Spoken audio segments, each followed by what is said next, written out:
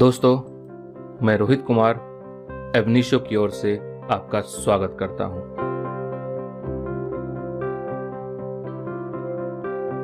करता हूँ।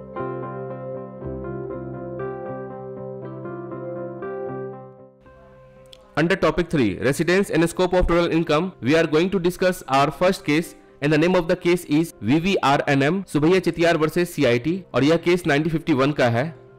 Before going to discuss about the fact of the case, I would like to throw some light on the situation of the time 1941 and 42. Because इस case में 1941-42 accounting year के बारे में बात होगी। यह वह टाइम था जिस वक्त ब्रिटेन का हुकूमत बहुत सारे कंट्रीज़ में था including India India was one of the colony और ऐसी ही इनकी कॉलोनी सिलोन हुआ करती थी। 1947 में इंडिया आज़ाद होता है और सिलोन 1948 में आज़ाद होता है। 1948 से लेकर के 72 तक इस कंट्री का नाम सिलोन ही रहता है। बट आफ्टर 1972 इसका नाम श्रीलंका हो जाता है। इंडिया में आफ्टर 1950 स्टेट रिकॉग्नाइजेशन के बारे में बात हो रही थी। 1953 टर्निंग पॉइंट आता है, जब हंगर स्ट्राइक पर बैठते हैं रामालुंगू, और आंध्र प्रदेश को लैंग्वेज के बेसिस पर फ़र्स्ट स्टेट बनाया जाता है and under state recognization act 1956 Andhra Pradesh को तमिलनाडु से अलग कर दिया जाता है। अब आते हैं इस केस के फैक्ट के ऊपर। मिस्टर सुबैया चेतियार, हिंदू अडवाय फैमिली के कर्ता होते हैं, जिसमें इनकी वाइफ होती है, एक सन होता है, और थ्री डॉटर्स होती है। इनके साथ ये सिलोन में रह रहे होते हैं, जो कि अभी के डेट में श्रीलंका कहलाता है। वहाँ का इन्होंने डोमिसाइल ले रखा था। इनका बिज़नेस कोलंबो में था, जिसका नाम था जनरल ट्रेडिंग कॉर्पोरेशन और इनका कुछ एंसेस्ट्रल प्रॉपर्टी इंडिया में था सम हाउस इमोल प्रॉपर्टी और इसके अलावा इन्होंने इन्वेस्टमेंट भी कर रखा था, और साथ ही साथ इनका शेयर दो पार्टनरशिप फॉर्म में था। फ़र्स्ट फॉर्म विजयपुरम में था, और सेकेंड फॉर्म नागापट्टनम में था। विजयपुरम अभी के आंध्र प्रदेश में है, और नागापट्टनम तमिलनाडु में।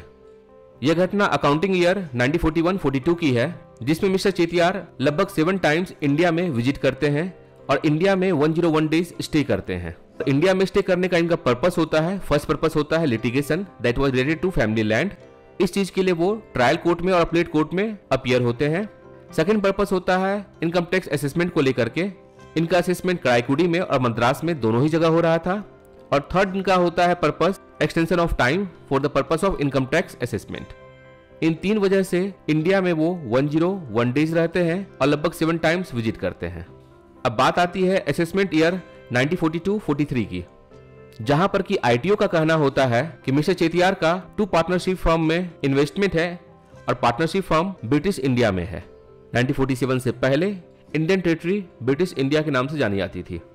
आईटीओ का डिमांड होता है मिस्टर चेतियार से कि जो भी उनका कोलंबो में प्रॉफिट हो रहा है बिज़नेस से, वो फॉरेन इनकम के रूप में काउंट किया जाएगा तो उसका अकाउंट दिया जाए। और इस प्रकार से ITO under sub section B of section four A उनको यहाँ की रेसिडेंट मानती है। और यही बात कहना होता है अपलेट असिस्टेंट कमिश्नर का। उसके बाद यह मामला पहुँचता है अपलेट ट्राइब्यूनल के पास, जहाँ पर कि अपलेट ट्राइब्यूनल का कहना होता है कि अगर देखा जाए तो जो भी कोलंबो में बिज़नेस चल रहा है, उसका कंट्रोल मैनेजमेंट कहीं और है that is wholly outside British India और इस वजह से जो एस है he is not liable for the assessment then उसके बाद यह बात पहुँचती है हाईकोर्ट में, जहाँ हाईकोर्ट में जस्टिस पतंजलि शास्त्री का कहना होता है कि क्वेश्चन ऑफ़ रेसिडेंस को लेकर के ट्राइब्यूनल खुद अपने आप में मिसलीड हो गई। और अगर देखा जाए कोलंबो में जो बिज़नेस हो रहा है, उसका control and management outside British India नहीं कहा जा सकता है। तो इस कंडीशन में ये आईटीओ और अपडेट असिस्टेंट कमिश्नर की बात को अपहेल्ड करती है। देन उसके बाद यह मामला पहुँचता है सुप्रीम कोर्ट में। अब आइए हम लोग देखते हैं सुप्रीम कोर्ट में क्या होता है। फ़र्स्ट पैराग्राफ में क्वेश्चन ऑफ़ लॉ दिया हुआ है and the question of law is whether in circumstances of the case the SSC a Hindu undivided family is resident in British India under subsection B of section 4A of Income Tax Act. Paragraph number two में आप देखेंगे fact दिया हुआ इस case का। Paragraph number three में आप देखेंगे आईटीओ और अपलेट असिस्टेंट कमिश्नर का क्या डिसीज़न होता है, उसके बारे में दिया हुआ है। पैराग्राफ नंबर फोर में आप देखेंगे अपलेट ट्राइब्यूनल का डिसीज़न और इस मामला को हाईकोर्ट में पहुँचाने के बाद चीफ जस्टिस पतंजलि शास्त्री का क्या कहना होता है और क्या डिसीज़न होता है, यह दिया हुआ है। देन उसके बाद इसमें सेक्शन फोर के बारे में डिस्कस किया जाता है, जिसमें हाईकोर्ट का कहना होता है कि अगर देखा जाए एज पर सेक्शन फोर ए जो रेसिडेंस को डिफाइन करती है और यह अप्लाई होता है इंडिविजुअल के ऊपर हिंदू अनडिवाइडेड फैमिली के ऊपर फॉर्म के ऊपर अदर एसोसिएशन ऑफ़ पर्सन के ऊपर और कंपनी के ऊपर। जबकि अगर देखा जाए sub section B of section four A it talks about the test कि आखिर किसको रेसिडेंट माना जाएगा, किसको नहीं माना जाएगा। और इसमें टेस्ट होता है मैनेजमेंट एंड कंट्रोल अगर management and control British India में है तो उस कंडीशन में उसकी टैक्सेबल टेरिटरी ब्रिटिश इंडिया होती है और यहाँ टैक्स पे करना होगा। और अगर management control situated wholly outside British India तो उस कंडीशन में टैक्सेबल टेरिटरी ब्रिटिश इंडिया नहीं होगी। इसी बात को कहा जाता है इस पैराग्राफ में। उसके बाद हाईकोर्ट थ्री केसेस को कंसिडर करती है, जिसमें फ़र्स्ट केस है द बियर्स वर्सेस हाउ जिसमें लॉर्ड लोरेबन का कहना होता है a company can not eat or sleep but it can keep house and do business we ought therefore to see whether it is really keep house and doing business और इसमें second case होता है गगटा jute mills versus Nicholson और साथ ही साथ Cesena sulphur company versus Nicholson 1876 का case है, जिसमें चीफ जस्टिस बैरन केली एंड बैरन हेडलस्टोन का कहना होता है a company decides for purpose of income tax where its real business is carried on अगर किसी कंपनी के रेसिडेंस के बारे में अगर बात की जाए तो that can be decided on the basis of कि जहाँ रियल बिज़नेस हो रहा है, वही उसका रेसिडेंस होगा।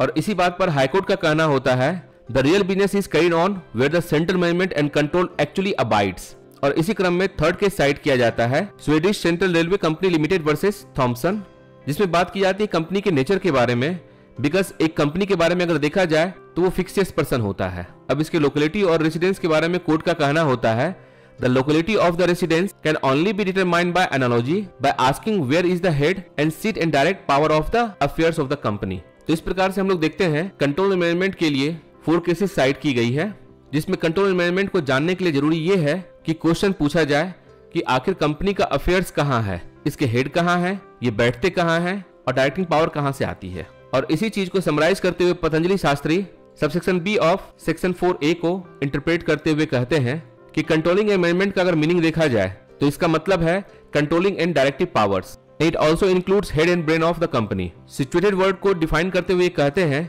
अगर सिचुएटेड अगर लिखा हुआ है तो इसका मतलब है कि ये बिज़नेस एक्टिविटीज़ किस प्लेस पर हो रहा है और ये डिग्री ऑफ़ परफॉर्मेंस को शो करता है. जबकि जो होली वर्ड का इसमें यूज़ किया गया है, वो इस बात को इंडिकेट करता है कि देर इज़ ए पॉसिबिलिटी कि एक से ज़्यादा जगह पर इसका ब्रांच हो सकता है और एक से ज़्यादा जगह से ये कंट्रोल हो रहा हो. तो इस प्रकार से होली बताता है कि कंट्रोल और डायरेक्ट कहाँ से मिल रहा है? क्या एक जगह से मिल रहा है, या दो जगह से मिल रहा है, या उससे ज़्यादा जगह पे मिल रहा है? Subsection B of section four A के टू कंस्ट्रक्शन के बारे में बात की जाती है पैराग्राफ नंबर सेवन में, और टू कंस्ट्रक्शन का मतलब हो गया इंटरप्रिटेशन इसके एक एक वर्ड का इंटरप्रिटेशन इसमें किया जाता है, जिसमें सबसे पहले बात यह की जाती है कि जो भी हिंदू अनडिवाइडेड फैमिली है, वो जिस भी टैक्सेबल टेरिटरी में रहती है, वही उसका रेसिडेंट माना जाता है और ये एक तरह का प्रिजम्पन है। लेकिन ये प्रिजम्पन कुछ कंडीशन में अप्लाइड नहीं होता है, जिसके बारे में इस प्रोजन के सेकेंड पार्ट में दिया हुआ है। कहाँ अप्लाई नहीं होता है? फ़र्स्ट अफेयर्स को लेकर के, जिसमें अफेयर्स के मीनिंग को बताया जाता है कि यहाँ पर अफेयर्स का मतलब है that is relevant for income tax and second thing it is related to income उसके बाद बात की जाती है इसमें एग्जामेशन के बारे में, जिसमें क्वेश्चन यह करना होता है कि सीट ऑफ़ डायरेक्शन कहाँ है कंट्रोल ऑफ़ अफेयर्स कहाँ है। यदि ये सीट ऑफ़ डायरेक्शन और control of affairs inside British India है इस कंडीशन में ब्रिटिश इंडिया इसका रेसिडेंस कहलाएगा और यहाँ इनकम टैक्स इम्पोज होगा। लेकिन seat of direction and control of affairs outside British India है तो उस कंडीशन में इसके ऊपर टैक्स नहीं इम्पोज किया जा सकता है और टैक्स एसेस नहीं किया जा सकता है। देन उसके बाद इसमें बात की जाती है होली वर्ड के मीनिंग के बारे में। जैसा कि हम लोगों ने पहले भी चर्चा किया था कि यहाँ पर होली का मतलब ये है कि seat of direction and control of affairs एक जगह से हो रहा है या दो जगह से हो रहा है या कई एक जगह से हो रहा है। हिंदू अनडिवाइड फैमिली के कंडीशन में एक से ज़्यादा रेसिडेंस हो सकता है, लेकिन सीट ऑफ़ डायरेक्शन और कंट्रोल ऑफ़ अफेयर्स एक ही जगह से होता है। By this way subsection B of section four A का टू कंस्ट्रक्शन किया जाता है। In the sense of residence in the sense of affairs examination किस केस में हो सकता है और होली का रियल मीनिंग क्या होता है? इसके बाद आप देखेंगे पैराग्राफ नंबर एट में क्वेश्चन के बारे में बात की जाती है, जिसके बारे में डिस्कशन चल रहा था। एंड पैराग्राफ नंबर नाइन में सुप्रीम कोर्ट अपना जजमेंट लेकर के आती है। आफ्टर एनालाइजिंग सेवरल फैक्ट जिसमें उनका कहना होता है कि जो एस है, यहाँ पर इस जगह जो इंडिया आया है सेवन अलग अलग ओकेजन पे, और यहाँ स्टे किया है 101 डेज़ अगर देखा जाए इसके आने का कारण लिटिगेशन है असिस्मेंट है, और एक्सटेंशन है। कहीं पर भी उसका ये कारण नहीं था कि वो इस पर्टिकुलर जगह से बिज़नेस का मैनेजमेंट और कंट्रोल करे। या फिर ऐसा कोई भी सबूत पेश नहीं किया जाता है, जिसके बेसिस पर कहा जा सके कि कोलंबो से इनको डायरेक्शन मिला था मैनेजमेंट और कंट्रोल करने के लिए। और इसी बात को लेकर के फाइंडिंग के बेसिस पर सुप्रीम कोर्ट अपना जजमेंट देती है, जो पैराग्राफ नंबर टेन में दिया हुआ है, जिसमें सुप्रीम कोर्ट का सबसे पहले कहना होता है कि अगर देखा जाए इंडिया में जो भी इनका अफेयर है an affair in the sense of IT उसके लिए कहीं भी कोलंबो की तरफ़ से कोई भी और इस चीज़ को लेकर कोई भी एविडेंस प्रोड्यूस नहीं किया गया है। सेकेंड बात इसमें कही जाती है कि जो एसएससी है, वो करता है अपनी फैमिली का, जो कि कंट्रोल और मैनेज करता है अपने फैमिली के एक्टिविटीज़ एंड अफेयर्स को, और वो फैमिली परमानेंटली कोलंबो में रहती है, और उनका डोमिसाइल सिलोन का है। थर्ड चीज़ जो इसमें कही जाती है कि कहीं से भी ऐसा कोई भी कंक्लूसिव प्रूफ नहीं मिला है, जो कि बता सके कि उस पर्टिकुलर बिज़नेस का कंट्रोल दो जगह से हो रहा है लाइक शिलोंग से। सेकेंड जब ये ब्रिटिश इंडिया आते हैं तो वहाँ ऐसा कोई भी सबूत नहीं मिल पाया है। और सुप्रीम कोर्ट का कहना होता है कि जो भी फाइंडिंग होता है असिस्टेंट कमिश्नर का, वो सही है, और जो एक्सेप्शन दिया गया है, इस प्रोविज़न में उसके एक्सेप्शन में ये फॉल करता है। और रही बात इसमें ऑनर्स ऑफ़ प्रूफ करने की, कि किसके ऊपर ऑनर्स होता है इस बात को प्रूफ करने का, उसके बारे में कहा जाता है the decision in this appeal must be confined to the year of assessment and assessment year इसमें 1941 42 है to which this case relates and it would be open to a plant to show in future year by proper evidence that the seat of control and management of of the family is wholly outside British India. ये appellant को show करना होगा। और इस condition में finally होता यह है कि जो एस होता है उसके ऊपर टैक्स इम्पोज नहीं किया जा सकता है उसे आईटीओ के द्वारा एसेस नहीं किया जा सकता है और जो असिस्टेंट कमिश्नर ने फाइंडिंग दी थी वो बात प्रिवेल करता है और इसके साथ ही यह केस समाप्त होता है। करता हूँ।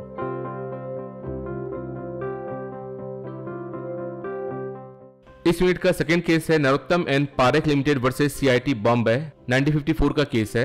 इस केस में होता यह है कि एक पेरेंट कंपनी होती है जिसका नाम होता है SC India stream navigation company limited इसकी एक सब्सिडरी कंपनी होती है जिसका नाम है नरोत्तम एंड पारेख लिमिटेड। और यह बात है असेसमेंट ईयर 1944, 45, 45 एंड 46 का। यह जो सब्सिडरी कंपनी होती है ये एक्चुअली शिलोंग में काम कर रही होती है लेकिन इसे रजिस्टर कराया जाता है बॉम्बे में और इसका रजिस्टर्ड ऑफ़िस बॉम्बे होता है। बॉम्बे में ही बोर्ड ऑफ़ डायरेक्टर्स की और शेयर होल्डर की मीटिंग्स होती रहती है। इस सब्सिडी कंपनी में इनकम दो जगह से आता है फ़र्स्ट इंडिया से and that is of three thousand seven hundred ninety one rupees and second world wide और खास करके शिलोंग से सबसे ज़्यादा पोर्सन यहाँ से मिलता है। That is three lakh twenty eight thousand one hundred and eight rupees अब होता यह है कि जो शिलोंग में ये काम कर रही होती है कंपनी इसे मैनेज करने के लिए दो मैनेजर्स रखा जाता है और उन्हें पावर ऑफ़ अटर्नी दिया जाता है ताकि कंपनी के बिहार पर वो डिसीज़न कंट्रोल और मैनेजमेंट कर सके।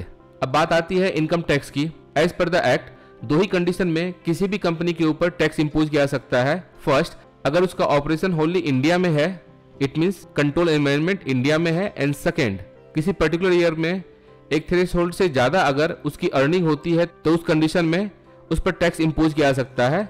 लेकिन अगर देखा जाए, इस पर्टिकुलर असेसमेंट ईयर में इस अमाउंट पर टैक्स की बात नहीं होती है। बल्कि इसमें मेन मैटर ये आता है कि ये जो सब्सिडरी कंपनी है, इसका रेसिडेंस क्या होगा? और इसी कारण सेम क्वेश्चन के साथ ये मामला पहुँचता है हाई कोर्ट में, जहाँ क्वेश्चन पूछा जाता है whether the SSC company is a resident company जब आप इस केस को देखेंगे तो सेकंड पैराग्राफ उस कंडीशन के बारे में बताता है, जिसके बारे में भी हम लोगों ने चर्चा किया था, कि किस दो कंडीशन में किसी कंपनी के ऊपर टैक्स इंपोज किया जा सकता है। और इस वाले केस में जो भी बात की जाएगी under section four A C वो इनकम टैक्स एक्ट 1922 के प्रव्यू में बात की जाएगी। और अगर देखा जाए इनकम टैक्स एक्ट 1961 में this is given under subsection 3 of section 6 इस पैराग्राफ में बात होती है रेसिडेंस को लेकर के which is given under subsection C of section 4A इस पैराग्राफ में बात किया जाता है residence with relation to company कि एक कंपनी के रिलेशन में रेसिडेंस हम लोग कैसे आइडेंटिफाई करेंगे। जिसमें कहा जाता है, ये मेनली डिपेंड करता है control and management of affairs और अफेयर्स का वही मीनिंग है जो हम लोगों ने पिछले केस में देखा था it is related to income tax and income of the company control और मैनेजमेंट के कॉन्टेक्स्ट में सबसे पहली बात होती है कि ये कंट्रोल और मैनेजमेंट टैक्सेबल टेरिटरी में सिचुएटेड होना चाहिए। यह एक तरह से कंपेडियस एक्सप्रेशन है। जो एक डेफिनेट सिग्निफिकेंस एंड कनोटेशन को बताता है। अब अगर ऐसा होता है कि किसी कंपनी का कंट्रोल मैनेजमेंट का कोई भी पार्ट आउटसाइड टैक्सेबल टेरिटरी अगर होता है तो उस कंडीशन में उस टैक्सेबल टेरिटरी के अंदर वो रेसिडेंट नहीं मानी जाएगी। यहाँ कंट्रोल एनवायरमेंट का कहीं भी यह मतलब नहीं है कि डे टू डे बिज़नेस करने के लिए यदि किसी सर्वेंट को या इम्प्लाई को या रिप्रेजेंटेटिव को या फिर एजेंट को किसी भी तरह का पावर और कंट्रोल दिया गया है तो वो कंट्रोल मैनेजमेंट में तो आएगा लेकिन सेंट्रल कंट्रोल मैनेजमेंट में नहीं आएगा। नेक्स्ट पैराग्राफ में दिया गया है what is difference between Hindu undivided family and company in the context of residence इस डिफरेंस को बताते हुए कहा गया है कि अगर देखा जाए हिंदू अनडिवाइडेड फैमिली और कंपनी के बीच में जो डिफरेंस होता है, वह यह होता है कि यदि हिंदू अनडिवाइड फैमिली का management and control within taxable territory अगर आता है तो फिर वो वहाँ की रेसिडेंट मानी जाती है, जैसा कि इससे पहले वाले केस में हम लोगों ने डिस्कस किया था। कंपनी के सेंस में यह होता है कि यदि मैनेजमेंट और कंट्रोल का कोई भी पार्ट आउटसाइड टैक्सेबल टेरिटरी अगर होगा तो वो नॉन रेसिडेंट कहलाएगी।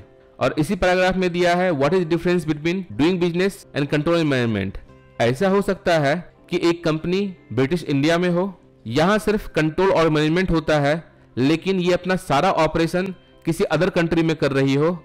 लाइक like इस केस में अगर देखा जाए सिलोन में, जिसको कि हम लोग श्रीलंका कहते हैं तो भले ही सारा का सारा इनकम जनरेट श्रीलंका से हो रहा है बट इस कंडीशन में कंट्रोल और मैनेजमेंट ब्रिटिश इंडिया में है। So doing business and control management दोनों का दोनों ही डिफरेंट होता है।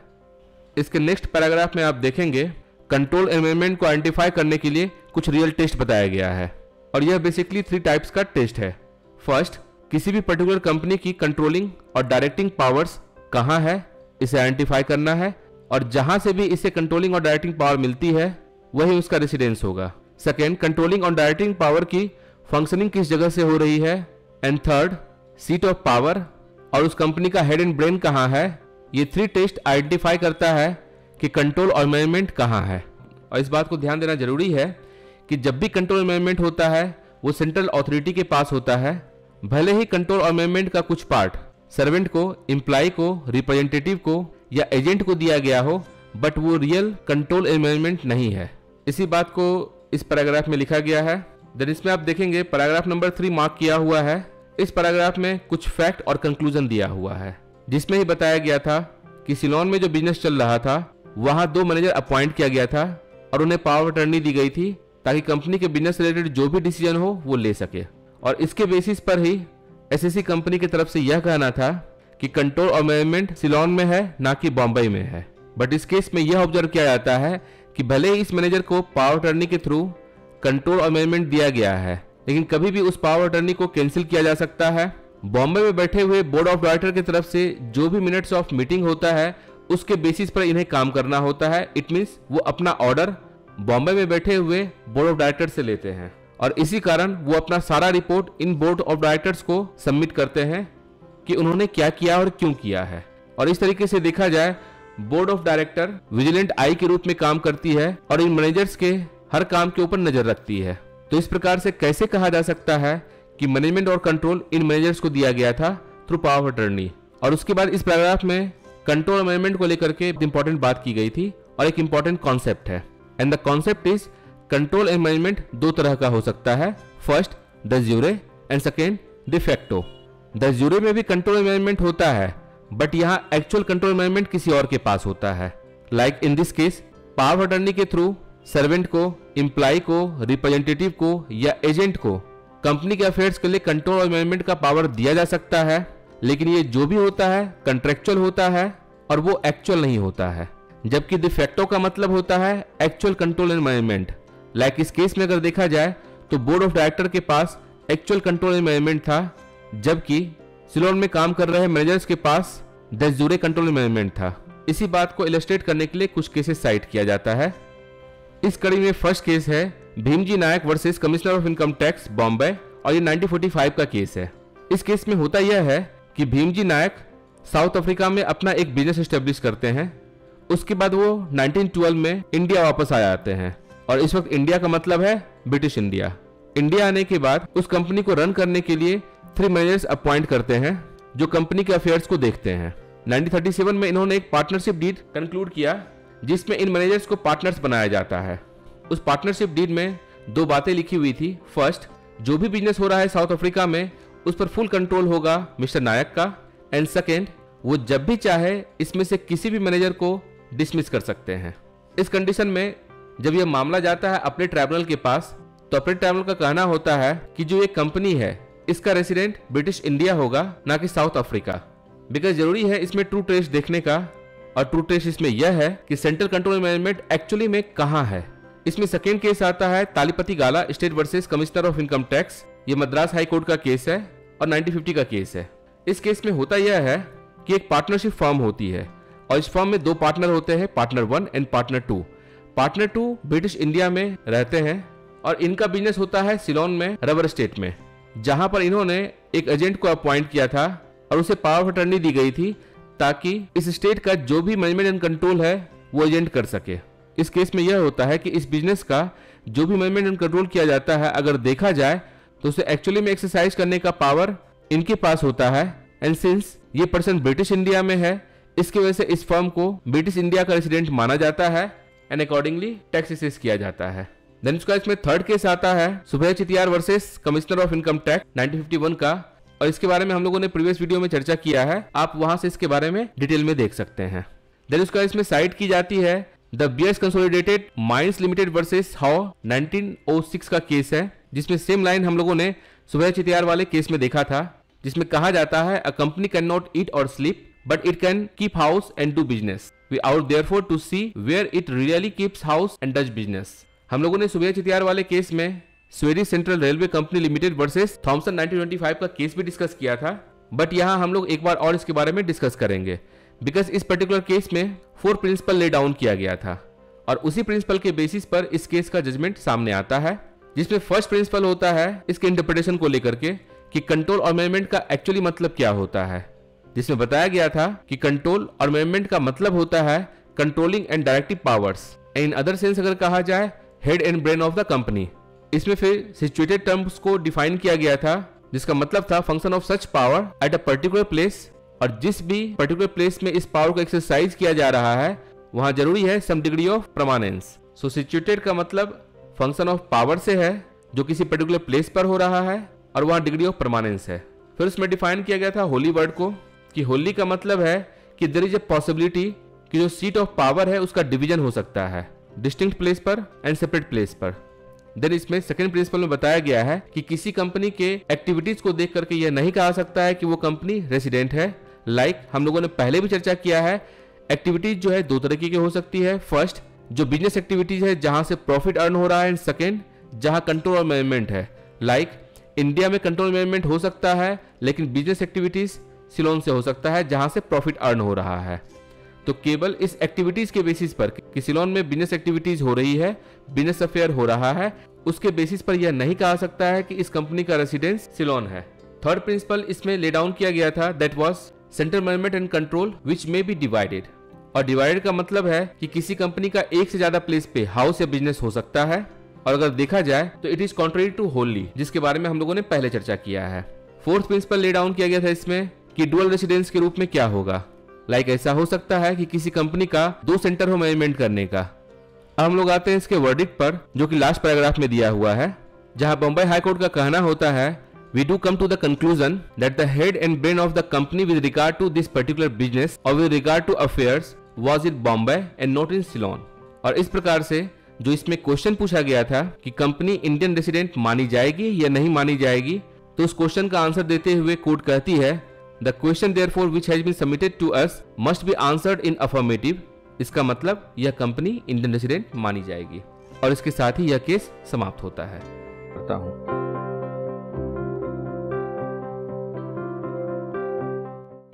टैक्सेशन लॉ के topic residence and scope of total income के अंतर्गत लास्ट केस है Vodafone International Holding BV versus Union of India and others 2012 का केस है। यह केस बहुत लंबा केस है। जब आप इस केस को पढ़ेंगे तो पाएँगे कि इसमें बहुत सारे एब्रिविएशन का यूज़ किया गया है like V I H C G P H E L F D I D T A A इसके अलावा कुछ कॉन्सेप्ट के बारे में भी चर्चा किया गया है लाइक लुक एट क्या होता है लुक थ्रू क्या होता है, क्या clause one of subsection one of section nine look through के बारे में बात करता है या लुक एट के बारे में बात करता है। कॉर्पोरेट स्ट्रक्चरिंग क्या होता है, क्यों किया जाता है एफ़ का पर्पज क्या है S P V that is special purpose vehicle होता क्या है और उसका यूज़ इन्वेस्टमेंट के लिए कैसे किया जाता है? इसके अलावा इसमें कुछ सेक्शन के अलावा कुछ वर्ड्स को भी इंटरप्रेट किया गया है like subsection two of section five subsection one of section nine transfer of a capital asset situated in India का एक्चुअली मतलब क्या है? यहाँ पर डायरेक्ट ट्रांसफ़र के बारे में बात की जा रही है या इनडायरेक्ट ट्रांसफ़र के बारे में बात की जा रही है? डायरेक्ट ट्रांसफ़र और इनडायरेक्ट ट्रांसफ़र होता क्या है? क्या इंडिया में इनडायरेक्ट ट्रांसफ़र को लेकर के कोई कानून है? और इस पूरे केस में खास करके चर्चा किया जाता है कॉर्पोरेट स्ट्रक्चर में parent company that is holding company and subsidy company इनका रोल क्या होता है, क्यों बनाया जाता है टैक्स इवेजन के लिए बनाया जाता है या फिर टैक्स अवॉइडेंस के लिए बनाया जाता है, दोनों में डिफरेंस क्या होता है? क्या इस कंडीशन में जो हम लोगों ने कंपनी लॉ में कॉन्सेप्ट पढ़ा था लिफ्टिंग ऑफ़ कॉर्पोरेट वेल उसका यूज़ किया जा सकता है? और खास करके वैसी सिचुएशन में जहाँ पर कलरेबल अवॉइडेंस ऑफ़ टैक्स हो, इसके साथ साथ इस पर्टिकुलर केस में आप देखेंगे, लगभग एट टू नाइन केसेस को साइड भी किया गया है, उसके बारे में बात की गई है, और वहाँ जो प्रिंसिपल दिया गया था, उस प्रिंसिपल को यहाँ अप्लाई किया गया है। और यदि जब आप इस केस को पढ़ेंगे तो पाएँगे कि इतने सारे एब्रिविएशन का यूज़ किया गया है कि ये केस पढ़ने में अपने आप में डिफ़िकल्ट है। So I try to make it as easy as possible so before starting discussing the fact of the case I would like to discuss with you corporate structure क्या होता है, इसका पर्पज क्या होता है, और कैसे यह काम करता है। जितनी भी डेवलप्ड और डेवलपिंग कंट्री है, वो चाहती है कि उसके कंट्री में फॉरेन इन्वेस्टमेंट का इनफ्लो हो और उसके लिए एफडीआई के नॉर्म्स को ईजी किया जाता है, ताकि उस कंट्री में फॉरेन करेंसी का इनफ्लो हो सके। अब होता यह है कि जो भी फॉरेन कंपनी होती है, वो चाहती है कि अगर किसी भी कंट्री में लाइक इंडिया में, अगर वो इन्वेस्ट करे तो ज़रूरी है कि जो भी कागज़ी कार्रवाई हो, जो भी प्रोसीजर हो, वो जितना कम हो कंपनी के लिए उतना अच्छा होता है। बट हर कंट्री को डर होता है फ्रॉड होने का। और फाइनेंशियल लॉस होने का। इसी कारण कोई भी country on the matter of finance नहीं चाहती है कि उसको किसी भी तरह का लॉस हो और उसके लिए कानून बनाया जाता है लॉ लाया जाता है। समटाइम्स दो कंट्री के बीच में ट्रीटी होती है, वो ट्रीटी ही लॉ का काम करती है। अब होता यह है कि सपोज़ मान लीजिए एक कंपनी है जिसका नाम है एचआईटीएल जो कि इस केस में भी है that is Hutchison Telecommunication International Limited ये एक पेरेंट कंपनी है और यहाँ पेरेंट कंपनी कहने का मतलब है मेन कंपनी ये अपना एक सब्सिडी कंपनी बनाती है GSPL that is Global Services Private Limited. और ये क्या करती है कि डायरेक्टली इंडिया में इन्वेस्ट करने के बजाय इंडिया में जीएसपीएल को स्टैब्लिश करती है, जो इसकी सब्सिडरी कंपनी है, और इसका काम होता है टेलीकम्युनिकेशन का और कॉल सेंटर का। अब अगर ये कंपनी चाहती है FDI का फ्लो इंडिया में लाना और किसी अदर कंपनी में इन्वेस्ट करना तो उसके लिए एक अलग कंपनी बनाई जाती है लाइक like इस केस में CGP that is CGP Investment Holding Limited इस कंपनी का काम ही है किसी दूसरे कंपनी का शेयर परचेज करना। और सिंस इसका काम है शेयर परचेज करना और इसी पर्पज के लिए इस कंपनी को बनाया गया है तो इसे हम लोग बोलते हैं इन्वेस्टमेंट व्हीकल और इस केस में आप देखेंगे वर्ड यूज़ किया जाता है S P V that is special purpose vehicle जो कि इस तरह की कंपनी मानी जाती है। अब होता यह है कि किसी कंट्री में अगर एफडीआई का इन्फ्लो करना और कोई भी अदर कंपनी इंडिविजुअल या ऑर्गेनाइजेशन उस कंट्री में लाइक like इंडिया में इन्वेस्ट करना चाहती है तो इन प्रोसीजर को अवॉइड करने के लिए इस रूट का यूज़ करती है। अब इस तरीके से इंडिया में जो कंपनी है like H E L that is Hutchison Essar Limited जो इंडियन कंपनी है, यहाँ एच आई टी एल का इनडायरेक्ट रूप से इन्वेस्टमेंट होता है। और इस तरीके से ये अपने फंड को पहुँचा देती है एच e के पास। एच e का जो भी कैपिटल गेन होता है, वो एच आई टी एल के पास इसी रूट से वापस पहुँचता है। तो अगर एक तरीके से देखा जाए तो फंड्स आता है एच की तरफ़ से और पहुँचता है एच के पास और जो भी एच को कैपिटल गेन होता है वो पहुँच जाता है HIL के पास। और इस प्रकार से HIL के जो भी शेयर होते हैं उनको स्पेशल डिविडेंड दिया जाता है एच की तरफ़ से। यह एक छोटा सा मॉडल है कॉर्पोरेट स्ट्रक्चरिंग का। अब इस केस में सपोज़ ऐसा होता है V I H that is Vodafone International Holding अगर ये चाहती है एच आई टी एल या जी एस पी एल या सी जी पी इनके ऊपर कंट्रोल करना या यहाँ पर अपने बिज़नेस को होल्ड करना इसके लिए यदि ये सीजीपीएल को परचेज कर लेती है तो इनडायरेक्ट रूप से अगर देखा जाए तो जो भी एचआईएल का होल्डिंग था, या सीजीपीएल का होल्डिंग था, वो सारा का सारा होल्डिंग पहुँच जाता है वीआईएच के पास। यहाँ पर वोडाफोन इंटरनेशनल होल्डिंग को कहीं से भी हचिनसन एस लिमिटेड जो कि इंडिया में काम कर रही है डायरेक्टली परचेज करने की ज़रूरत नहीं पड़ी। बल्कि इनडायरेक्ट रूप से अगर सीजीपी को वीआईएच अगर अक्वायर कर लेती है तो एच भी इसके पास आ जाता है।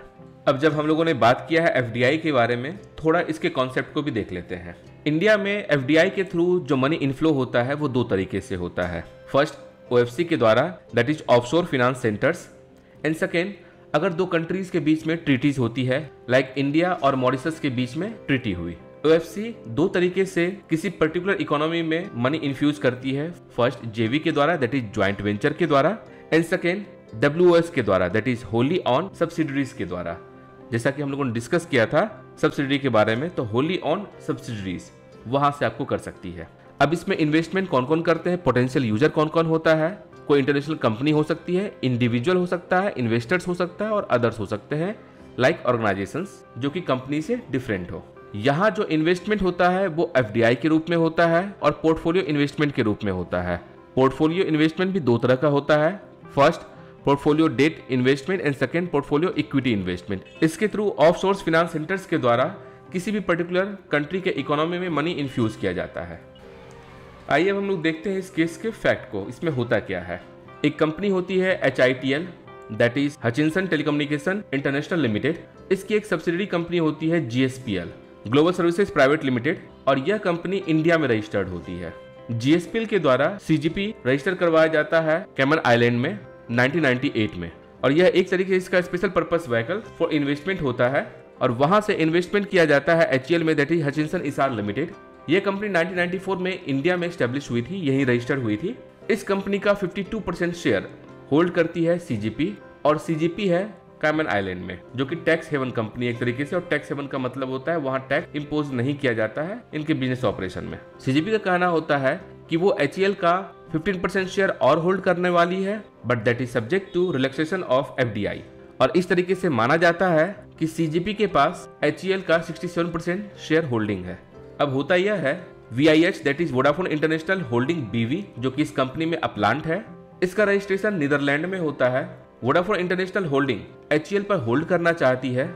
इस चीज़ के लिए वी और सीजीपी के बीच में अग्रीमेंट होता है और सीजीपी का इंटायर शेयर्स वीएचपी अपने पास होल्ड कर लेती है। जैसे ही इसका इंटायर शेयर होल्ड करती है इनडायरेक्ट रूप से VIH का एच के ऊपर भी कंट्रोल हो जाता है। ये जो ट्रांजेक्शन हो रहा है, वो ओवरसीज ट्रांजेक्शन है, क्योंकि ये सारा का सारा ट्रांजेक्शन इंडिया के बाहर हो रहा है। लेकिन इंडियन अथॉरिटी का कहना होता है कि जो ये कंपनी है एच ये तो इंडिया में है, इसका अपना कैपिटल सेट्स है।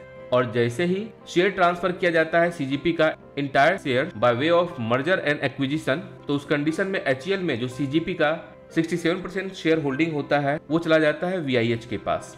यहाँ जो कैपिटल गेन हुआ है वीआईएच के पास as per definition that is given under subsection one of section nine V liable है कैपिटल गेन पर टैक्स पे करने के लिए।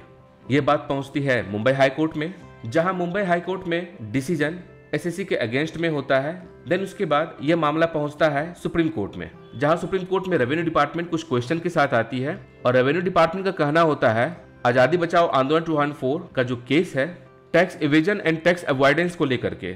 इससे पहले भी कुछ जजमेंट आ चुका था और इंडिया और मोसेस के बीच में डबल टैक्सेशन अवॉर्डमेंट एग्रीमेंट भी हो चुका था 1983 में।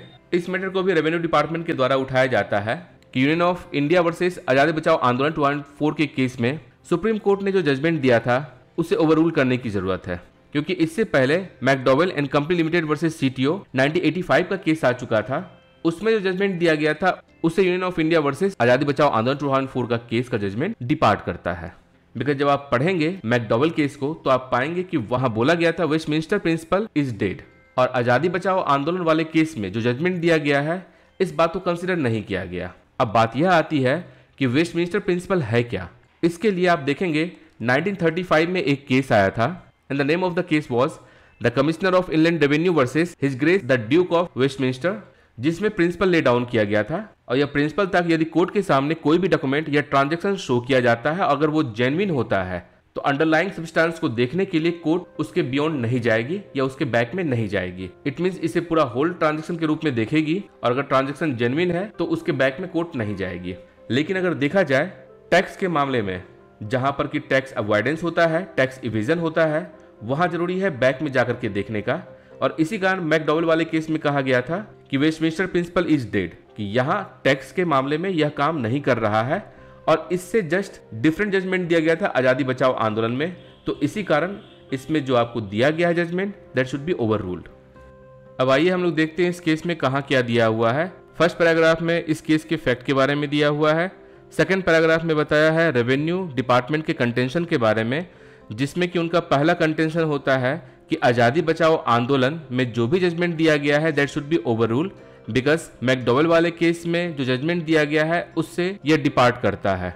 और मैकडोवल वाले केस में जस्टिस चिनप्पा रेड्डी ने बोला था कि वेस्टमिनिस्टर प्रिंसिपल यहाँ डेड है, और इसी कारण जस्टिस चिनप्पा रेड्डी का कहना था कि ज़रूरी है कि कुछ सर्कमस्टांसिस में जहाँ टैक्स का अवॉइडेंस हो रहा है, उसे टैक्स के नेट में लाना चाहिए। मैकडोल वाले केस के जस्ट फोर इयर्स बाद एक और केस आता है and the name of the case is Mathura Agarwal versus State of Madhya Pradesh 1999 में आता है। इस केस पे भी वेस्टमिनिस्टर प्रिंसिपल को कोर्ट किया गया था और रेवेन्यू का कंटेंशन होता है कि मथुराम अग्रवाल वाले केस में भी वेस्टमिनिस्टर प्रिंसिपल को कोर्ट किए जाने के बावजूद आज़ादी बचाओ में इसे नोटिस नहीं किया गया। अब यहाँ सुप्रीम कोर्ट का कहना होता है कि मैकडोल वाले केस में दो बातें की गई थी। जिसमें फ़र्स्ट था CBDT that is Central Board of Direct Taxes के द्वारा एक सर्कुलर जारी किया गया था उसके वेलिडिटी को लेकर के कि वो अल्ट्रा वायर्स है या वायर है। एंड सेकेंड इसमें टैक्स अवॉइडेंस या टैक्स एविजन के कॉन्सेप्ट के बारे में बात की गई थी। और इसी केस में बात की गई थी कि टैक्स प्लानिंग की जा सकती है बट टैक्स प्लानिंग दो तरह का होता है। First legitimate and second illegitimate और लेजिटिमेट का मतलब है, जो विद इन द लॉ के फ्रेमवर्क काम कर रहा है, वही लेजिटिमेट होता है या इसी को हम लोग लीगल भी बोलते हैं।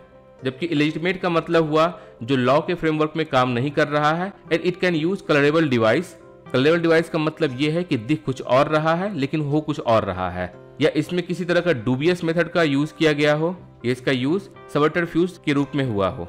तो इसमें सुप्रीम कोर्ट का कहना होता है कि मैकडोवेल का केस 1985 में आया था बट उससे पहले इंडोमोर्सियस डी साइन हुआ था. एंड डीटीए का मतलब है डबल टैक्स अवॉइडेंस एग्रीमेंट और ये साइन हुआ था सेवन्थ मार्च 1983 को। ये अग्रीमेंट क्यों साइन हुआ, इससे पहले ज़रूरी है कि कुछ केसेस के बारे में चर्चा किया जाए, जिसमें फ़र्स्ट केस आता है the Commissioner of Inland Revenue versus His Grace the Duke of Westminster 1935 का केस है। और इसी केस में वेस्टमिनिस्टर प्रिंसिपल दिया गया था, जो कि एक कार्डियल प्रिंसिपल के रूप में यूज़ होता है। और इस केस में कहा जाता है कि यदि कोई डॉक्यूमेंट या ट्रांजेक्शन जेन्युइन है तो कोर्ट अंडरलाइंग सब्सटेंसेस को देखने के लिए इसके बैक में नहीं जाएगी। इट मीन इसके प्रीवियस ट्रांजेक्शन को चेक नहीं करेगी। और उसके बाद 1981 में W T Ramsay Limited versus Inland Revenue Commissioner का केस आता है। इस केस में आप देखेंगे कि कैसे कलरेबल डिवाइस का यूज़ किया जाता है। इस केस में होता यह है कि एक एस कंपनी होती है बी इनका एग्रीमेंट कंपनी ए के साथ होता है और ये एक तरह का आर्टिफिशियल स्कीम होता है। इस स्कीम के तहत क्या होता है कि इस कंपनी के पास जो भी डिक्रीजिंग एसेट्स है, वो दिखाती है कि कंपनी ए को इसे लॉस में सेल किया गया है और दूसरी तरफ़ दिखाती है कि उसके रिप्लेसमेंट के लिए, अपने एसेट्स को इंक्रीज करने के लिए ये ए से एसेट्स परचेज करती है। इस प्रकार से एक तरफ़ लॉस दिखाया जाता है बैलेंस शीट में और दूसरे ही तरफ़ यहाँ गेन दिखाया जाता है। और इस प्रकार से फ़िज़िकल नलिटी को शो दिया जाता है कि यहाँ पर ना तो प्रॉफिट हो रहा है और ना ही गेन हो रहा है इस कंडीशन में इस कंपनी के ऊपर टैक्स की लाइबिलिटी नहीं होती है। इस पूरे स्कीम को क्राउन की तरफ़ से चैलेंज किया जाता है और तब जाकर के यह बात आती है कि it is the task of the court to ascertain the legal nature of the transaction कि इस ट्रांजेक्शन का लीगल नेचर क्या है? ज़रूरी है कोर्ट उसके लिए उसके बैक में जाकर के देखे ट्रांजेक्शन के नेचर को जाकर के देखे। और अगर किसी भी तरह का क्रेडेबल डिवाइस का अगर यूज़ हो रहा है, वहाँ ज़रूरी नहीं है कि वेस्ट मिनिस्टर प्रिंसिपल को फॉलो किया जाए। इसे एज ए होल ट्रांजेक्शन के रूप में देखने की ज़रूरत नहीं है, बल्कि आप इसे डायसेक्ट करके उसके बैक ट्रांजेक्शन में जाकर के देख सकते हैं कि ट्रांजेक्शन का एक्चुअल में नेचर क्या है, वो लीगल है या इलीगल है। इसके बाद इसमें थर्ड केस के बारे में चर्चा की जाती है the name of the case is Furniss Inspector of Taxes versus Dawson और ये 1984 का केस है, और अगर देखा जाए रामसे के केस के बाद जस्ट ये केस आता है 84 में बिकॉज़ रामसे का केस 1981 में आया था। और यह कहा जा सकता है कि डॉन्सन का केस रामसे के केस का एक्सटेंशन है, जहाँ पर यह कहा गया कि रेवेन्यू को एम्पावर किया जाता है कि सरकम सरकमस्टांसिस में जाकर के वो रिस्ट्रक्चर करके ट्रांजेक्शन को देख सकती है कि ट्रांजेक्शन एक्चुअली में कहाँ हो रहा है। अगर ये डूबियस नेचर का है या कलरेबल डिवाइस का यूज़ किया गया है तो उस कंडीशन में ट्रांजेक्शन को रिस्ट्रक्चर किया जा सकता है, ताकि पता चले कि टैक्स का एविजन या अवॉइडेंस तो नहीं हो रहा है। इस केस के बाद ही ऐसा होता है कि revenue department started rejecting every cases जिसमें रेवेन्यू डिपार्टमेंट का एसएससी से कहना होता है कि उनके ट्रांजेक्शन का नेचर क्या है और एक एक ट्रांजेक्शन को देखना वो चालू करती है। और इस प्रकार से कोर्ट में बहुत सारा केसेस आने लगता है बिकॉज़ एक पर्सन का ये राइट है कि अगर वो चाहे स्ट्रेटेजिक तरीके से इन्वेस्टमेंट कर सके और अपने टैक्स की प्लानिंग कर सके, जिससे कि वो अपना टैक्स बचा सके। टैक्स बचाना बुरी बात नहीं है। और ये हर किसी का अधिकार है कि टैक्स बचाने के लिए वो अलग अलग तरह के इंस्ट्रूमेंट का यूज़ कर सकता है। लेकिन टैक्स एविजन या टैक्स अवॉइडेंस, यह इलीगल माना जाता है, ना कि टैक्स प्लानिंग। लेकिन as a result of this case revenue department her case को रिजेक्ट करना चालू कर देती है। इनफैक्ट अगर कोई स्ट्रेटेजिक इन्वेस्टमेंट भी कर रहा है तो वो भी इनकम टैक्स के प्रव्यू के दायरे में आता है और क्वेश्चनिंग में आ जाता है। और इसके बाद ही मैकडोवेल का केस आता है। बट इससे पहले इंडिया और मॉरिशस के बीच में डबल टैक्सेशन अवॉइडेंस एग्रीमेंट हो चुका था। और इसका कारण ये था ताकि इस दोनों कंट्री में जो भी लोग रह रहे हैं और किसी भी तरह का बिज़नेस या ट्रेड कर रहे हैं, उनके ऊपर डबल टैक्स की लाइबिलिटी ना हो। और इस चीज़ का बहुत ज़्यादा मिसयूज किया गया, बहुत सारी शेल कंपनी बनाई गई, जिसके थ्रू इंडिया में मनी डाइवर्ट किया गया। और इसी चीज़ को लेकर के 1985 में मैकडोवेल का केस आता है। डाउसन के केस के जजमेंट के बाद फिफ्थ केस इसमें आता है कार्बन वर्सेस वाइट का 1988 का।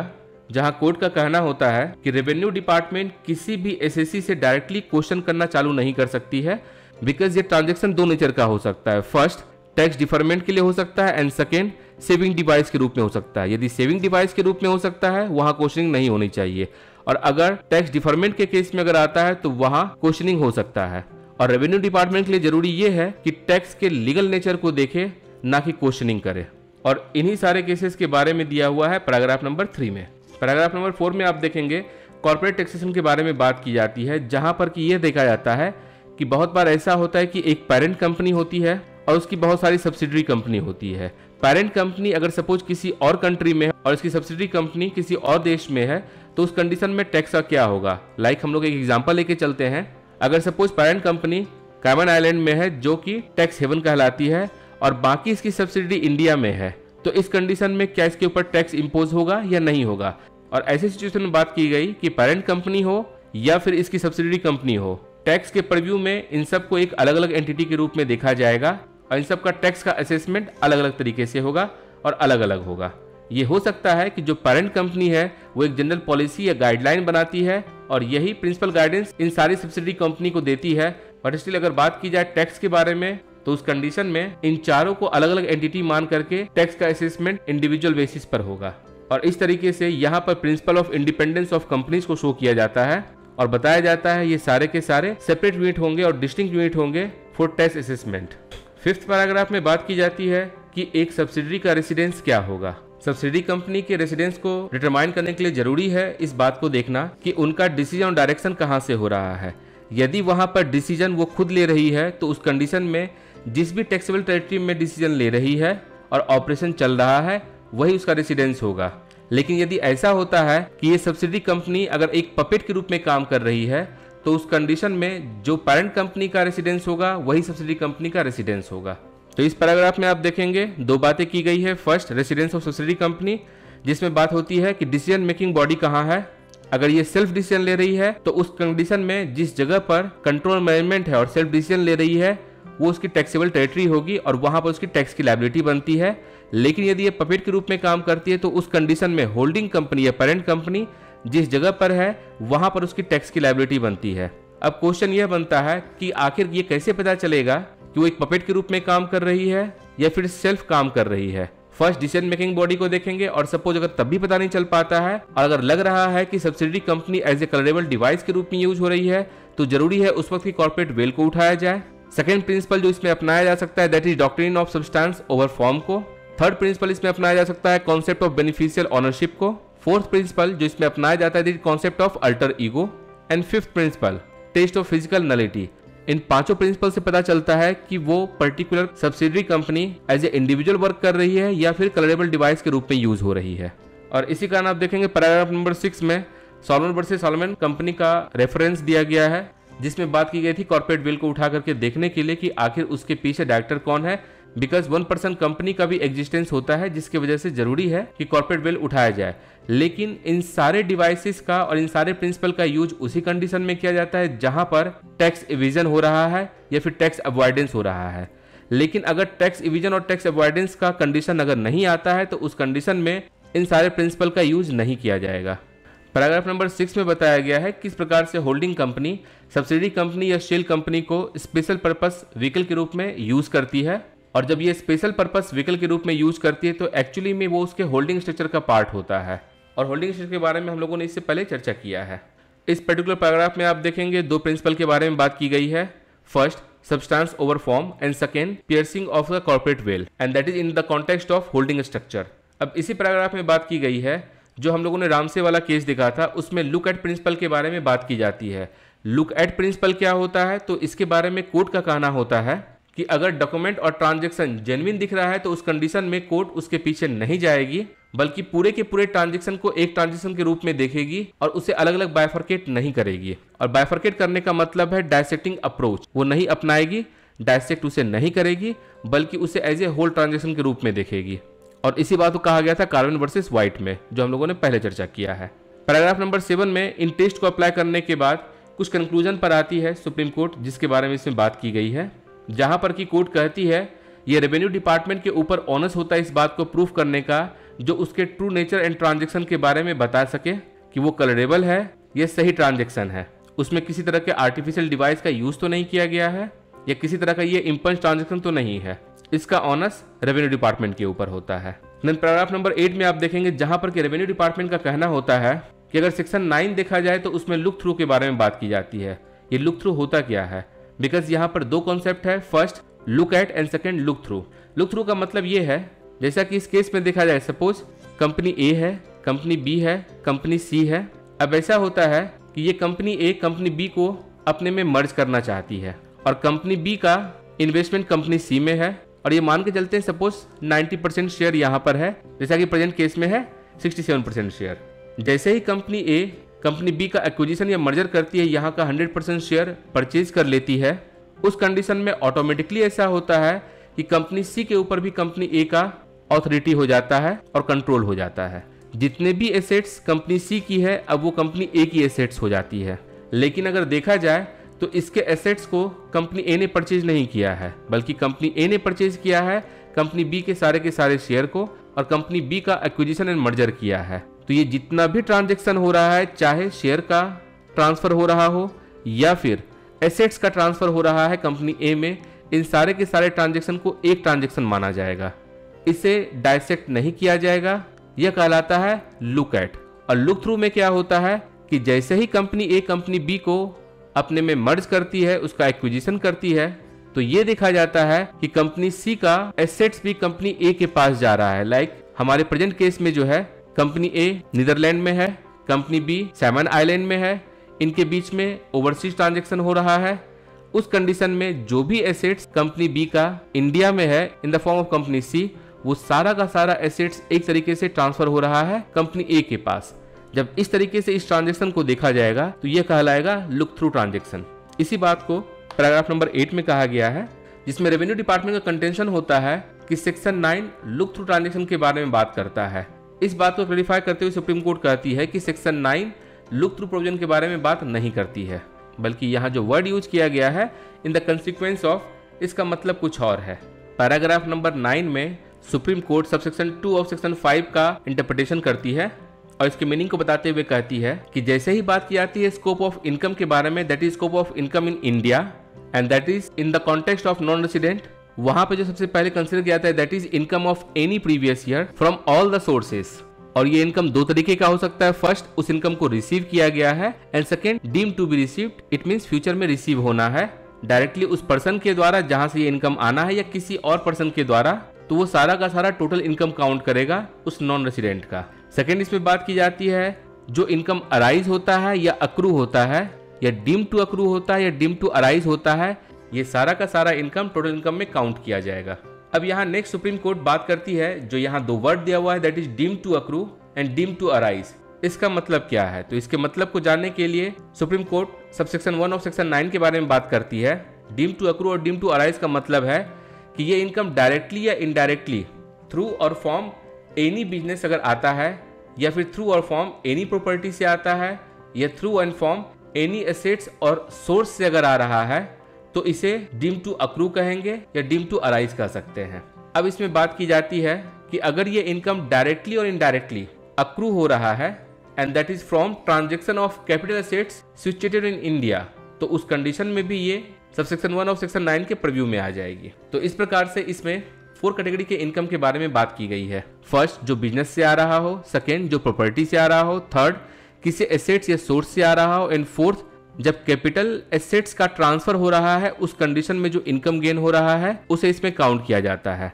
तो अभी जो हमारे पास प्रेजेंट केस है, उसमें मेन चर्चा किया जाता है इस फोर्थ कैटेगरी के बारे में that is transfer of a capital asset situated in India present case में सुप्रीम कोर्ट का मेन कंसर्न फोर्थ कैटेगरी से था, जो कहता है transfer of a capital asset situated in India इसमें आप देखेंगे पैराग्राफ नंबर टेन में सुप्रीम कोर्ट इसके एक एक वर्ड का इंटरप्रिटेशन करती है और कहती है कि अगर देखा जाए इस पूरे फ्रेज में थ्री एलिमेंट्स है। फ़र्स्ट एलिमेंट है ट्रांसफ़र होना चाहिए।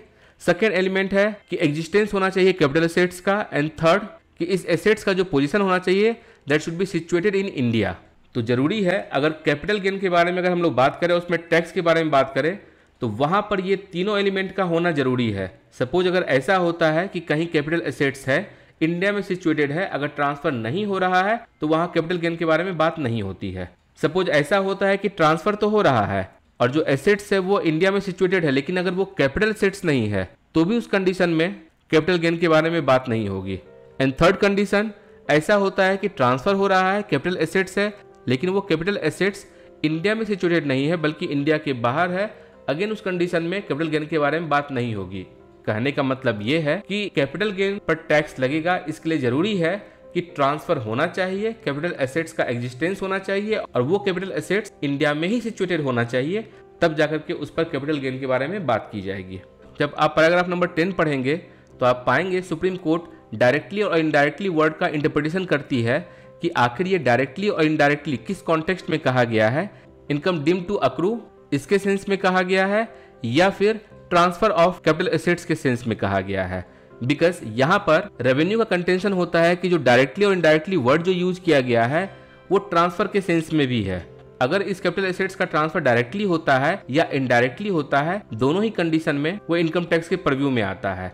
जहाँ पर कि सुप्रीम कोर्ट कहती है कि यहाँ जो डायरेक्टली और इनडायरेक्टली वर्ड जो यूज़ किया गया है that is for income deem to accrue ना कि ट्रांसफ़र के लिए किया गया है, क्योंकि अगर ट्रांसफ़र के लिए किया जाता और इस तरीके से इसका इंटरप्रिटेशन अगर किया जाने लगा तो फिर ये पर्पसिव इंटरप्रिटेशन हो जाएगा और इससे कुछ और मीनिंग निकलेगा। जबकि अगर ट्रू सेंस में अगर देखा जाए, यदि लेजिस्लेचर का इंटेंट ये होता कि ये डायरेक्टली और इनडायरेक्टली वर्ड ट्रांसफ़र के लिए यूज़ किया जाए तो स्पेसिफिकली इसके बारे में बात करती, लेकिन कहीं भी इसके बारे में बात नहीं की गई है।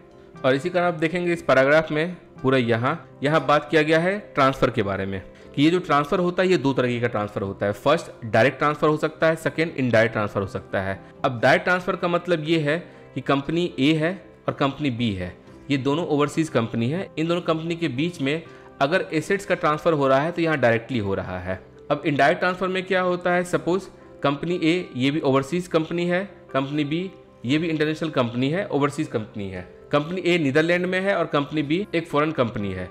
इन दोनों के बीच में अग्रीमेंट होता है और ये देखा जाता है कि कंपनी बी का कुछ शेयर कंपनी सी में होता है और इस कंपनी सी का कुछ एसेट्स होता है यहाँ, जो कि इंडिया में है। इस कंडीशन में ऐसा हो रहा है कि आउट ऑफ़ इंडिया इन दोनों के बीच में अग्रीमेंट होता है दैट इज़ ऑफशोर एग्रीमेंट तो यहाँ पर अगर देखा जाए तो डायरेक्टली सी से इसका एसेट ट्रांसफ़र ए के पास नहीं हो रहा है, बल्कि इस एग्रीमेंट के तहत बी के थ्रू होते हुए जो भी सी का एसेट्स है वो ए के पास ट्रांसफ़र हो रहा है। और अक्सर ये देखा जाता है कि ऑफशोर ट्रांजेक्शन जो होता है उसमें एसेट्स का इनडायरेक्ट ट्रांसफ़र होता है और इसी के बारे में इसमें बात की गई है। अब सबसे बड़ी बात यह है कि डायरेक्ट ट्रांसफ़र को लेकर के इंडिया में तो कानून है, उसमें टैक्स की तो बात की जाती है, लेकिन इनडायरेक्ट ट्रांसफ़र को लेकर के डायरेक्टली ऐसा कोई कानून नहीं है। और इसके लिए ही डीटीसी कोड लाया गया था। डीटीसी कोड का मतलब है direct tax code two thousand का है। इस तरह के ट्रांजेक्शन को देखते हुए। और इसके बारे में आप देखेंगे, यहाँ बात की गई पैराग्राफ में इस जगह पर। इसी पैराग्राफ में आगे बात की जाती है डायसेक्टिंग अप्रोच के बारे में कि डायसेक्टिंग अप्रोच क्या होता है। डायसेक्टिंग अप्रोच का मतलब ये है कि सपोज़ ये कंपनी ए है, ये कंपनी बी है। अगर इन दोनों के बीच में कुछ एग्रीमेंट होता है like in terms of share अगर यहाँ शेयर का ट्रांसफ़र हो रहा है तो सिर्फ़ शेयर ही नहीं जाता है इस कंपनी के साथ, बल्कि शेयर के साथ साथ बंडल ऑफ़ राइट्स जाती है। बंडल ऑफ़ राइट्स का मतलब है मीटिंग में पार्ट लेने का राइट वोटिंग का राइट डिसीज़न लेने का राइट समटाइम्स एसेट्स ये भी इसके साथ जाता है। तो अगर ये देखा जाए तो बंडल ऑफ़ राइट्स यहाँ पर जा रही है। अगर हम लोग डायसेक्टिंग अप्रोच अपनाते हैं तो उसमें देखा जाता है कि शेयर ट्रांसफ़र करने के बाद right one right two right three ये अलग अलग कंपोनेंट के रूप में सामने दिखता है। और उस कंडीशन में सपोज़ अगर ऐसा होता है लाइक like अभी प्रेजेंट केस में एसेट्स का ट्रांसफ़र होता है, इसको हम अगर अलग तरीके से देखते हैं तो यहाँ पर कैपिटल गेन के बारे में बात आती है, जो इस प्रेजेंट केस में बात हो रही है। तो यहाँ कोर्ट का कहना होता है कि डायसेक्टिंग अप्रोच आपको नहीं अपनाना है बल्कि आपको लुक एट अप्रोच अपनाना है। लुक एट अप्रोच का मतलब है ये सारा का सारा ट्रांजेक्शन एक ही ट्रांजेक्शन का पार्ट कहलाएगा। दैट इज़ यहाँ पर एक्विजिशन या मर्जर हो रहा है कंपनी बी का कंपनी ए में। और उसी चीज़ के बारे में इस पैराग्राफ में बात की गई है। पैराग्राफ नंबर 15 में आप अगर देखेंगे तो पाएँगे रेवेन्यू डिपार्टमेंट की तरफ़ से एक स्टोरी कही जाती है। लेकिन उस स्टोरी को जब सुप्रीम कोर्ट चेक करती है तो कुछ पॉइंट पर उस स्टोरी से अग्री नहीं करती है। पैराग्राफ नंबर 16 और 17 में आप अगर देखेंगे तो बात की जाती है कि टैक्स पर्पस के लिए आखिर ज़रूरी क्या है? सपोज़ ऐसा होता है कंपनी ए कंपनी बी का मर्जर कर लेती है, या इसका एक्विजिशन करती है। उस कंडीशन में कंपनी बी का जितना भी एसेट्स है, वो कंपनी ए के पास आ जाता है। तो क्या यहाँ पर यह कहा जाएगा कि कंपनी ए का कैपिटल गेन हो रहा है? बिकॉज़ इसके पास बहुत सारा कैपिटल फॉर्मेशन हो रखा होगा कैपिटल एसेट्स होगा in terms of share investment and अलग अलग डिवाइसेस के थ्रू तो जितना भी डिवाइस कंपनी बी के पास अवेलेबल है, वो कंपनी ए के पास चला गया। तो क्या ये कहा जाएगा कि यहाँ कैपिटल गेन हो रहा है? बिकॉज़ कंपनी बी के पास जो भी डिवाइस है, उसका एक पर्टिकुलर वैल्यू है, उसका अगर वैल्यूशन लगाया जाए तो। तो यहाँ पर कोर्ट कहती है कि टैक्स हम लोग वैल्यूशन पे लगाते हैं एसेट्स के, या प्रॉफिट या इनकम पे लगाते हैं, इस बात को क्लेरिफाई करना ज़रूरी है। तो अगर देखा जाए तो प्रॉफिट और इनकम पर ही टैक्स लगाया जाता है, ना कि वैल्यूएशन पे टैक्स लगाया जाता है। क्योंकि अगर वैल्यूएशन की बात की जाए तो it is not a law it is a science और साइंस इस सेंस में होता है कि आखिर बी के बिज़नेस की रियलिटी क्या है? इनके बिज़नेस का मॉडल क्या है? ये कितने ड्यूरेशन तक ऑपरेशन कर रही है? इनका कैश फ्लो क्या है? कैश फ्लो का मतलब incoming and outgoing of the cash. इसका डिस्काउंटिंग फैक्टर क्या है? इसकी एसेट्स और लाइबिलिटी क्या है? इसके पास इंटेंजिबल कितना है? इंटेंजिबल का मतलब अगर उसके पास गुडविल है, पेटेंट है, ये सारा का सारा उसका इंटेंजिबल है। तो जितना ज़्यादा उसका गुडविल है, ब्रांड वैल्यू है, लोगो है उसके बेसिस पर उसकी वैल्यू और ज़्यादा हो जाती है। तो ये वैल्यूएशन लगाना ये एक साइंटिफिक मेथड है। इसको हम लोग लॉ के प्रव्यू में नहीं ला सकते हैं, जबकि अगर टैक्स के बारे में बात की जाए तो ये लॉ के प्रव्यू में आता है। तो इसी कारण ज़रूरी ये है कि हम लोग वैल्यूएशन पर टैक्स इम्पोज कर रहे हैं, या फिर प्रॉफिट और इनकम पे हम लोग टैक्स इम्पोज कर रहे हैं। ये सारी बातें जो भी अभी की जा रही है, उसके पीछे लॉजिक है, और उसी लॉजिक के बेसिस पर सुप्रीम कोर्ट इसका जजमेंट देगी। पैराग्राफ नंबर 19 अगर आप देखेंगे तो पाएँगे यहाँ पर सुप्रीम कोर्ट कुछ फाइंडिंग को लेकर के आती है और फाइंडिंग उनका ये होता है कि सबसे पहले डिसाइड करने की ज़रूरत है कि क्या यहाँ पर एसेट्स का ट्रांसफ़र हो रहा है या फिर शेयर का ट्रांसफ़र हो रहा है। और अगर बात की जाए सेल के बारे में तो यहाँ पर सेल किस चीज़ का हो रहा है? क्या एसेट या वैल्यूएशन का सेल हो रहा है या फिर यहाँ पर शेयर का सेल हो रहा है? और अगर शेयर का सेल हो रहा है, इस बात को डिटरमाइन करना ज़रूरी है कि जब शेयर ट्रांसफ़र होता है तो क्या होता है? बिकॉज़ जैसा हम लोगों ने पहले भी चर्चा किया है जैसे ही शेयर ट्रांसफ़र होता है तो एक्चुअली इसके साथ बंडल ऑफ़ राइट्स भी ट्रांसफ़र होती है। Rights like participation in company meeting management rights controlling rights control premium brand licence ये सारी की सारी राइट एक बार में जाती है। और इन सारी चीज़ों को इलस्ट्रेट किया गया है तीन केसेस में, जिसमें फ़र्स्ट केस है Chitranji Lal versus Union of India 1951 का केस है। Venkatesh versus CIT Madras high court का केस है। श्रीमती महारानी उषा देवी वर्सेस सीआईटी ये मध्य प्रदेश का केस है जहाँ पर की बात की गई थी कि शेयर के साथ साथ बंडल ऑफ़ राइट्स भी ट्रांसफ़र होता है। इसमें पैराग्राफ नंबर 20, 21, 22 में डिसीज़न दिया जाता है chief justice S H Kapadia के द्वारा जहाँ उनका कहना होता है लुक एट टेस्ट को अप्लाइड करने के बाद कंपनी के ट्रू नेचर और ट्रांजेक्शन को देखने पर यह पता चलता है कि ये ऑफशोर ट्रांजेक्शन है और बोनाफाइड एफडीआई स्ट्रक्चर है। इनका एम टैक्स इविजन का नहीं है या टैक्स अवॉइडेंस का नहीं है बल्कि इनका ऑब्जेक्ट पार्टिसिपेटिव इन्वेस्टमेंट का है। इनके ऊपर टैक्स की लाइबिलिटी नहीं बनती है। और फिर चीफ जस्टिस का कहना होता है कि मुंबई हाई कोर्ट ने जो भी इसमें डिसीज़न दिया है, उनको सेटिसाइड किया जाता है। अपलान के द्वारा 2500 करोड़ रुपीस जो डिपॉजिट जमा किया गया है, उसे डिपार्टमेंट वापस करेगी विद इंटरेस्ट और इंटरेस्ट फोर परसेंट लगेगा। और ये सारा का सारा amount within two months वापस किया जाएगा। और रजिस्ट्री के पास जो भी इनकी बैंक गारंटी है, वो इनको वापस दी जाएगी। तो इस प्रकार से चीफ जस्टिस कपाड़िया का जजमेंट यहाँ पर समाप्त होता है।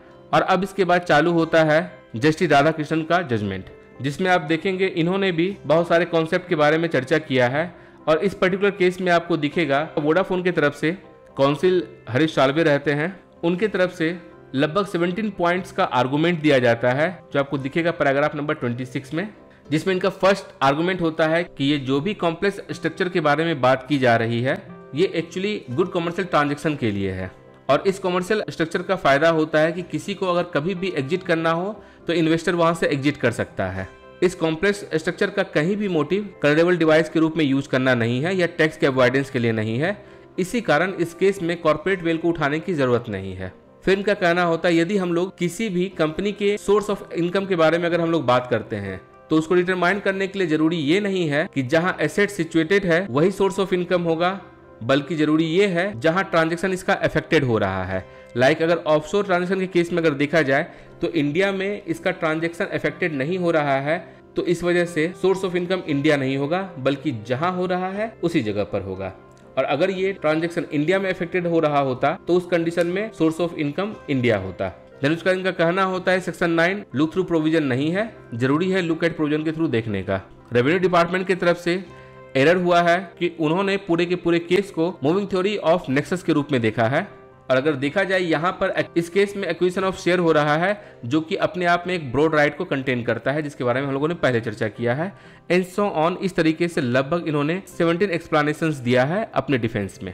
टैक्स डिपार्टमेंट की तरफ़ से solicitor general R F Nariman रहते हैं। उन्होंने भी अपना आर्गूमेंट दिया है इसमें, जिसमें उनका कहना होता है कि इन्वेस्टमेंट जो होता है, वो दो पर्पज के लिए होता है। First domestic and second transnational. जो डोमेस्टिक होता है, वो विद इन द कंट्री होता है और उनका पर्पस ही होता है कंट्री में कंटिन्यू करने का। लेकिन जो ट्रांसनेशनल होता है, वो बाहर से कंपनी करती है ऑफशोर कर सकती है, हो सकता है वो इंडिया में नहीं हो। और उनका इस तरह का ट्रांजेक्शन करने का मेन कारण होता है कि उनके लिए एग्जिट रूट बहुत ईजी होता है। जैसा कि इस पर्टिकुलर केस में अगर देखा जाए तो ये ट्रांसनेशनल इन्वेस्टमेंट हो रहा है, ना कि डोमेस्टिक इन्वेस्टमेंट हो रहा है। तो ट्रांसनेशनल इन्वेस्टमेंट में खतरा इस बात की हमेशा बनी रहती है कि कभी भी वो एग्जिट कर सकते हैं मार्केट से। इन्होंने भी बहुत सारे केसेस के बारे में चर्चा किया, जिसमें एक रामसे केस का भी है और बहुत सारा केस है। पैराग्राफ नंबर 31 में चर्चा की जाती है टैक्स अवॉइडेंस और टैक्स इविजन क्या होता है, इसके बारे में। और इसी चीज़ को लेकर के कुछ केसेस के बारे में बात की जाती है लाइक वेस्टमिनिस्टर वाला केस जो कि हम लोगों ने पहले देखा है, उसके बारे में चर्चा की जाती है। जिसका चर्चा की जाती है पर्पसिव इंटरप्रिटेशन अप्रोच यहाँ पे अपनाया नहीं जाना चाहिए, बल्कि इकोनॉमिक सब्सटेंस डॉक्ट्रिन की यहाँ ज़रूरत है। देन उसके बाद उनका कहना होता है कि टैक्स अवॉइडेंस के केस में कोर्ट की तरफ़ से क्या एक्शन होना चाहिए और क्या ज़रूरी है ध्यान में रखने की, उसके बारे में उन्होंने चार पॉइंट्स का है। फ़र्स्ट उन्होंने बात की है कि एक टैक्स पेयर से टैक्स तभी लिया जा सकता है यदि लेजिस्लेशन के द्वारा इसके बारे में क्लियर इंडिकेशन दिया हुआ है। टैक्स पेयर का यह अधिकार है कि अगर वो चाहे तो वो अपने टैक्स रिडक्शन को लेकर के जो भी मैनेजमेंट करना चाहे, वो कर सकती है। अगर कोई पर्सन टैक्स को अवॉइड कर रहा है तो उस कंडीशन में भी कोई दिक्कत नहीं है अनटी अनलेस अगर वो किसी भी तरह का एंटी अवॉइडेंस प्रोविज़न को अप्लाई नहीं करता है, और जहाँ पर भी कोर्ट को यह दिखता है कि जो डॉक्यूमेंट उसे दिया जा रहा है ट्रांजेक्शन का, वो जेनविन है तो उस कंडीशन में वेस्टमिनिस्टर कॉन्सेप्ट को अप्लाई किया जाएगा। इट मीन्स बैक में जाकर के उसके ट्रांजेक्शन को नहीं देखा जाएगा डायसेक्टिव अप्रोच नहीं अपनाया जाएगा। पैराग्राफ नंबर 34 में फिर से रामसे के केस को डिस्कस किया जाता है।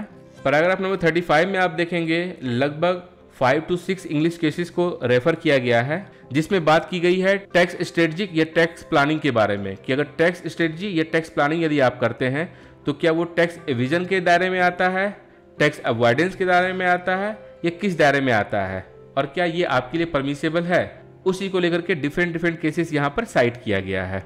फाइनली पैराग्राफ नंबर 38 में अपने जजमेंट को लेकर के आती है, जहाँ इनका कहना होता है फ़र्स्ट किसी भी कंपनी या पर्सन का ये अधिकार है कि वो चाहे तो अपना टैक्स प्लानिंग कर सकती है बट वो लेजिटिमेट तरीके से होना चाहिए। क्रेडेबल डिवाइस का वहाँ यूज़ नहीं किया जाना चाहिए। सेकेंड उनका कहना होता है कि इन्फ्लुएंसेस के बेसिस पर आप किसी पर्सन को टैक्स के लिए लाइबल नहीं कर सकते हैं, जबकि इंस्टीट्यूट में जो भी प्लेन लैंग्वेज दिया गया है, उसी के बेसिस पर और फैक्ट और सर्कमस्टांसिस के बेसिस पर टैक्स की लाइबिलिटी बननी चाहिए। और हर केस का फैक्ट और सर्कमस्टांसिस डिफरेंट हो सकता है। थर्ड इनका कहना होता है कि जो रेवेन्यू डिपार्टमेंट का कहना था कि जो रेशियो दिया गया है मैकडॉल वाले केस में, उसके अनुसार से आज़ादी बचाओ आंदोलन वाले केस को ओवर करना चाहिए। तो इसमें सुप्रीम कोर्ट का कहना होता है कि रेवेन्यू डिपार्टमेंट का ये पॉइंट ऑफ़ व्यू अनसस्टेनेबल है। देन इनका कहना होता है clause one of subsection one of section nine ये सोर्स ऑफ़ इनकम के बारे में बात करती है। तो वर्ड सोर्स ऑफ़ इनकम है, ना कि from a source in India है लिखा हुआ। और अगर from a source in India अगर होता उस कंडीशन में इनडायरेक्ट ट्रांसफ़र के बारे में बात हो सकती थी, या किसी अदर ट्रांजेक्शन के बारे में बात हो सकती थी। और इस प्रकार से बम्बई हाईकोर्ट के डिसीज़न को सेटिसाइड कर दिया जाता है। अब अगर इस पूरे केस के क्रक्स के बारे में बात की जाए तो जो यहाँ डिसीज़न आता है, उसके पीछे रेशियो ये होता है कि इस पर्टिकुलर केस में अगर देखा जाए, जो यहाँ हो रहा है, वो शेयर का ट्रांसफ़र हो रहा है। और शेयर बंडल ऑफ़ राइट को लेकर के आती है, और इंस्टीट्यूट में जो भी बात की गई है that is transfer of capital situated in India के बारे में बात की गई है कहीं पर भी ये बात नहीं की गई है कि जो भी ये ट्रांजेक्शन हो रहा है, अगर वो इनडायरेक्टली हो रहा है तो उस कंडीशन में क्या होगा? And since Vodafone international holding BV India में काम कर रही है, काम करना चाहती है और कंटिन्यू यहाँ बिज़नेस रन करना चाहती है इंडिया जैसे डेवलपिंग कंट्रीज़ को एफडीआई की ज़रूरत है, इसके अलावा जितने भी केसेस साइट की गई है, उसमें से वेस्टमिनिस्टर प्रिंसिपल और लुकेट प्रिंसिपल को अपनाते हुए यह कहा जा सकता है कि ये पूरा का पूरा एक ही ट्रांजेक्शन का पार्ट है और सिंस ये एक ही ट्रांजेक्शन का पार्ट है तो उस कंडीशन में अगर देखा है तो शेयर का ट्रांसफ़र हो रहा है। यहाँ पर टैक्स की लाइबिलिटी नहीं बनती है। टैक्स ऑन कैपिटल गेन का मामला नहीं बनता है। और इस प्रकार से यह केस यहाँ समाप्त होता है। दोस्तों, इस तरह के वीडियो को बनाने में काफ़ी समय, मेहनत और रिसोर्सेस लगता है। आप अपना वैल्यूबल फीडबैक ज़रूर शेयर करें, ताकि एबनीशियो टीम को प्रोत्साहन मिले तथा आपके द्वारा दिए गए फीडबैक पर काम करके और इन्फॉर्मेटिव वीडियोस आप तक लाया जा सके। यदि आपको यह वीडियो पसंद आया हो तो please like the video subscribe the channel and share the video with needy one thank you for watching videos thanks a lot